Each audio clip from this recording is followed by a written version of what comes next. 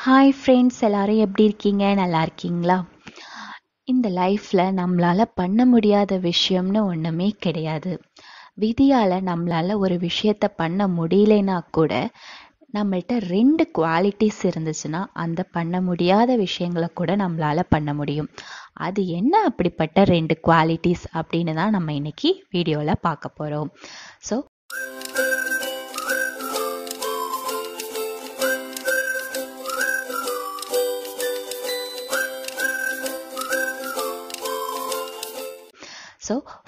Quality பற்றி moral ஸ்டோரியில் சொல்லியிருப்பேன் செகண்ட் குவாலிட்டி பற்றி இன்ஸ்பிரேஷனல் ஸ்டோரியில் சொல்லியிருப்பேன் வாங்க ஸ்டோரிஸ்க்கு போகலாம் ஃபஸ்ட்டு மாரல் ஸ்டோரி பார்த்துடலாம் ஒரு காட்டில் எல்லா பேர்ட்ஸும் வந்து கூடி கூடி ஒரு மீட்டிங் ஒன்று போடுறாங்க. ஸோ அனிமல்ஸ்க்கெல்லாம் ஒரு கிங் இருக்காங்க. ஏன் நமக்குள்ள பேர்ட்ஸ்க்குள்ள ஒரு கிங் இருக்கக்கூடாது? நமக்கும் ஒரு கிங் இருந்ததுன்னா நல்லா இருக்கும்ல. நம்மளோட ப்ராப்ளம் சால்விங்க்கும் கம்யூனிகேஷனுக்கும் அது ரொம்ப யூஸ்ஃபுல்லாக இருக்கும்ல அப்படின்னு சொல்லிட்டு முடிவு பண்ணுறாங்க ஸோ எல்லா பேர்ட்ஸ்க்குமே ஒரு கிங் தேவைப்படுது. ஸோ எல்லோரும் கிங் தேவைன்னு அக்செப்ட் பண்ணிக்கிறாங்க. ஸோ மைனா கேட்குது ஸோ நமக்கு வந்து கிங் தேவை. நம்ம எதை பேஸ் பண்ணி நம்ம கிங்கை செலக்ட் பண்ணுறது அப்படின்னு சொல்லிட்டு மைனா கேட்குது அதுக்கு அவுல் சொல்லுது. நம்மளோட பேசிக்கான நம்மளோட நம்மள்ட்ட இருக்கிற பேசிக்கான குவாலிட்டியே வந்து பறக்கிறது. ஸோ வந்து யார் உயர பறக்கிறாங்களோ அவங்க தான் கிங் அப்படின்னு சொல்லிட்டு அவுல் சொல்லுது. ஸோ வந்து ஓகேன்னு சொல்லிட்டு அந்த மீட்டிங் அதோட முடிஞ்சிடுச்சு ஸோ எல்லா பேர்ட்ஸும் அது அதுங்க கூட்டுக்கு போயிடுச்சுங்க. ஸோ அன்னைக்கு நைட் ஈகிள் நினைக்குது. நம்ம தான் இருக்கிறதுலையே நம்ம வந்து உயர பறக்க பறக்க முடிகிற பேர்டே நாம தான் நமக்கு தான் அந்த டேலண்ட் இருக்குது ஸோ நம்ம தான் வந்து நாளைக்கு ஜெயிக்க போகிறோம் கிங் ஆக போகிறோம் அப்படின்னு சொல்லிட்டு சந்தோஷமாக இருக்குது அந்த சைடில் பார்த்தா ஒரு ஸ்பேரோ என்ன பண்ணுது? சோகமாக இருக்குது தன்னோட விதியை நினச்சி வேதனைப்படுது.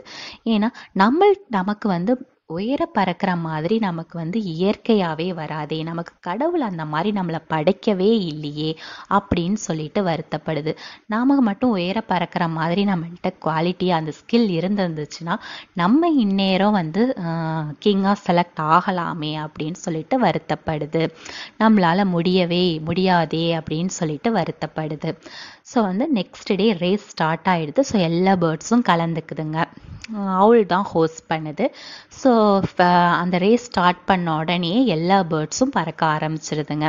ஸோ ஜெயிக்கணுன்றதுக்காக எல்லா பேர்ட்ஸுமே கஷ்டப்பட்டு தங்களால் முடிஞ்ச அளவுக்கு பறக்குதுங்க. ஸோ ஒரு ஸ்டேஜ் போனோன்னே கொஞ்சம் நேரத்தில் ஒவ்வொரு பேர்டாக டயர்டாகி டயர்டாகி ஃப்ளை பண்ணுறத நிறுத்திடுது. பீகாக் பேரட் குக் மைனா எல்லாமே நிறுத்திடுது. ஸோ கடைசியாக ஹைட்டில் யார் ரொம்ப ஹைட்டில் பறக்கிறா அப்படின்னு சொன்னால் அது ஈகிள் தான். ஸோ ஈகிள் வந்து கொஞ்சம் நேரம் கழித்து கீழே பார்க்குது கீழே பார்த்தா எந்த பேர்ட்ஸுமே இல்லை. ஸோ ஸோ எல்லா பேர்ட்ஸும் ஃப்ளை பண்ணுறத ஸ்டாப் பண்ணிவிட்டு போதும் நம்மளும் பறந்தது. இப்போ தான் நம்ம தானே லாஸ்ட்டில் பறக்கிறோம். ஸோ நம்ம தான் வின்னர்னு சொல்லி அனௌன்ஸ் பண்ணிடலாம் அப்படின்னு சொல்லிட்டு என்ன பண்ணுது? அது ஃப்ளை பண்ணுறதை நிறுத்திட்டு அது வந்து நான் தான் வின்னர் அப்படின்னு கத்துது.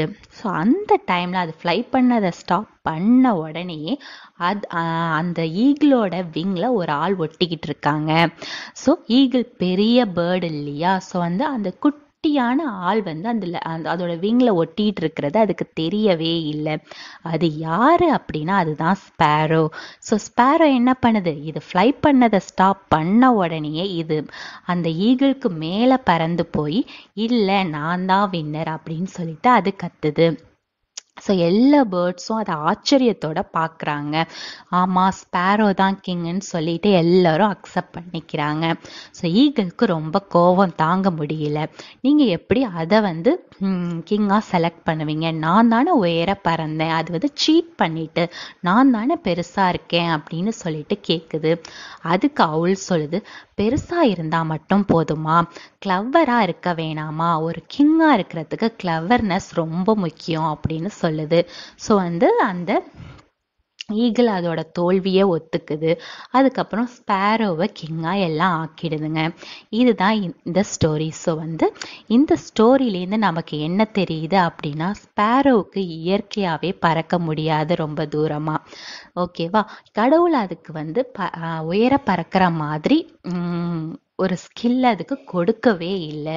ஆனால் பறக்கவே முடியாத ஸ்பேரோ எப்படி பறந்துச்சு? எப்படி பறந்துச்சுன்னா அதோட புத்திசாலித்தனத்தால் பறந்துச்சு.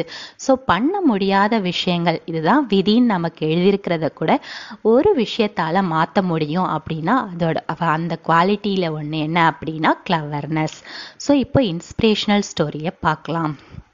சூர்யா சூர்யா வந்து புதுசாக நான் ஒன்றும் சொல்ல போகிறதில்ல நேருக்கு நேர் படம் முடிஞ்சோடனே சூர்யா வந்து சூர்யாவை வந்து விமர்சிக்காதவங்க கிரிட்டிசைஸ் பண்ணாதவங்க யாருமே இல்லைன்னு சொல்லலாம். எல்லாருமே பண்ணாங்க. சூர்யாவுக்கு நடிப்பு தெரியல நடிக்க வரல டான்ஸ் ஆட தெரியலன்னு சொல்லாதவங்க யாருமே கிடையாது.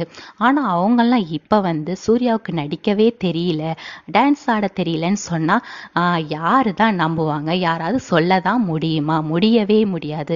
ஸோ அப்போ நடிக்கவே தெரியலன்னு சொன்ன சூர்யா இப்போ எப்படி நல்லா நடிக்கிறாரு? எதனால் நடிக்கிறாரு? ஸோ இந்த இடத்துல நாம் ஒன்று பார்க்கணும் டேலண்ட்டுக்கும் ஹார்ட் ஒர்க்குக்கும் உள்ள டிஃப்ரென்ஸ் பார்க்கலாம். உலகநாயகன் கமலஹாசன் தன்னோட ஃபர்ஸ்ட் குட்டி குழந்தையாக நடிக்கும் போதே அவரோட நடிப்பை எல்லோரும் பாராட்டினாங்க. அப்போனா அவருக்கு வந்து அந்த ஆக்டிங் ஸ்கில்ன்றது வந்து இயற்கையாகவே கடவுள் கொடுத்தது. அந்த இயற்கையாகவே நம்மள்கிட்ட இருக்கிற ஸ்கில்லை தான் நம்ம வந்து டேலண்ட்டுன்னு சொல்கிறோம் ஸோ அந்த Kamalahasan born with talent next super star Rajinikanth. Super star Rajinikanth recent இன்டர்வியூவில் கூட அந்த தாதா சாஹிப் பால்கே ஃபங்க்ஷனில் என்ன சொல்லியிருப்பாரு அப்படின்னா தன்னோட ஃப்ரெண்டு ராஜ் பகதூர் அவர் வந்து என்கிட்ட இருக்கிற அந்த ஆக்டிங் டேலண்ட்டை பார்த்து தான் உனக்கு வந்து ஆக்டிங்கில் பிரைட் ஃப்யூச்சர் இருக்குன்னு சொல்லிட்டு என்னை சினிமாவில் ஜாயின் பண்ண பண்ணாரு அப்படின்னு சொல்லியிருப்பாரு. ஸோ வந்து அவருக்கு இயற்கையாகவே அந்த ஆக்டிங் ஸ்கில் இருந்திருக்கு. Um, ஸோ இவ கமலஹாசனும் சரி சூப்பர் ஸ்டாரும் சரி ஆக்டிங் ஸ்கில் இயற்கையாகவே இருந்ததுனால தான் சினிமாஸ்க்கு வந்தாங்க ஜெயிச்சாங்க. ஆனால் சூர்யாவுக்கு அப்படி இல்லை. ஆக்டிங்கிறது எல்லாருக்கும் வராது. ஆனால் அவர் எப்படி இப்போ இவ்வளோ நல்ல ஆக்ட் ஆக்டராக மாறினாரு அப்படின்னா அவர்கிட்ட இருந்த குவாலிட்டி என்ன அப்படின்னா அது ஹார்ட் ஒர்க் ஸோ வந்து விதியால் நம்மளால் பண்ண முடியாத விஷயங்களை கூட இன்னொரு குவாலிட்டியால் பண்ணலாம். அது என்ன அப்படின்னா அதுதான் ஹார்ட் ஒர்க் ஸோ இந்த சூர்யாவோட லைஃப் ஜேர்னின்றது இந்த உலகத்தில் நிறைய பேருக்கு யூஸ்ஃபுல்லாக இருக்கும். ரொம்ப மோட்டிவேஷனாக இருக்கக்கூடிய விஷயம். நிறைய பேர் இன்ஃபீரியாரிட்டி காம்ப்ளெக்ஸ்னால நம்மளால் அதெல்லாம் பண்ண முடியாது அப்படின்னு சொல்லிட்டு தங்களையே ஷ்ரிங்க் பண்ணிக்கிட்டு க்ரோ ஆகாமல் எவ்வளவோ பேர் இருக்காங்க. அவங்கெல்லாம் சூர்யாவை வந்து ஒரு லைஃப்பில் எக்ஸாம்பிளாக எடுத்துக்கிட்டு அவங்க வந்து ஹார்ட் ஒர்க் பண்ணாங்கன்னா நிச்சயமாக அவங்களும் சக்ஸஸ் ஆவாங்க. ஸோ இந்த ஸ்டோரிஸ்லாம் உங்களுக்கு பிடிச்சிருக்கும்னு நினைக்கிறேன். இதையே தான் திருவள்ளுவரும் சொல்லியிருப்பாரு தெய்வத்தான் ஆகாதேனும் முயற்சி தன் மெய்வருத்த கூலி தரும் அப்படின்னு. ஸோ இந்த ஸ்டோரிஸ் ரெண்டுமே உங்களுக்கு பிடிச்சிருக்கும்னு நினைக்கிறேன். So பாபாய் thank you